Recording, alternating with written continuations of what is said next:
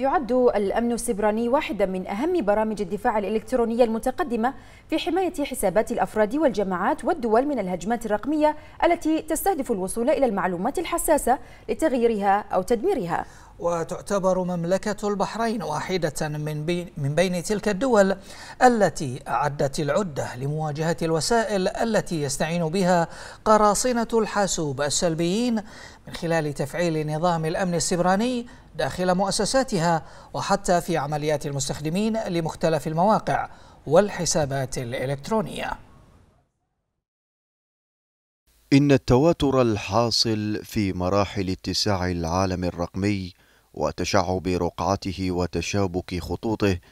فرصة سانحة لقراصنة الشبكة العنكبوتية من الفضوليين والمخربين لاستباحة خصوصيات الأفراد والجماعات والاستيلاء على معلوماتهم الخاصة والتوغل في عمليات تداولاتهم ومعاملاتهم المالية. بصمت اختراق مدروس ومحسوب يعلم مواطن الضعف وبواطن الخلل في حماية المستخدمين لحساباتهم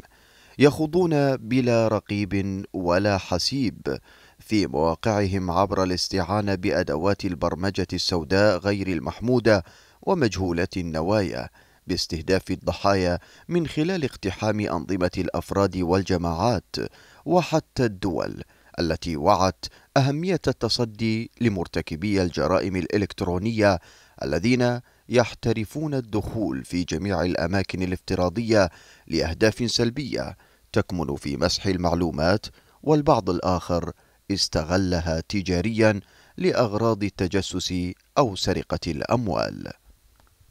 البحرين تعتبر واحدة من بين تلك الدول التي أعدت العدة لمواجهة الوسائل التي يستعين بها قراصنة الحاسوب الذين يمتلكون قدرات خاصة وأساليب خارقة لغايات إتلاف وتهديم وإعطاب أنظمة أمن المعلومات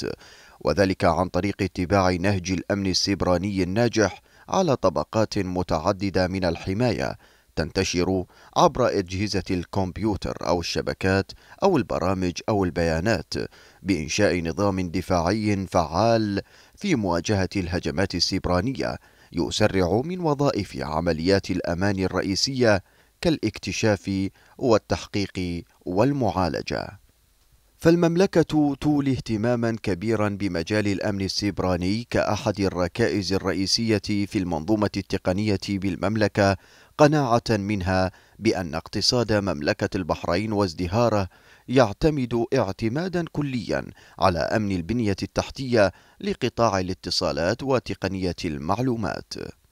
وقد ظهر ذلك جليا في إنشاء المركز الوطني للأمن السيبراني يضم أفضل الخدمات الأمنية من خلال أنظمة الرصد والمراقبة التي تسهم في الرصد السريع للاختراقات السيبرانية والاستجابة لها حال وقوعها لتخفيف الضرر بفكر كوادر وطاقات عاملة مدربة على برنامج حماية الشبكات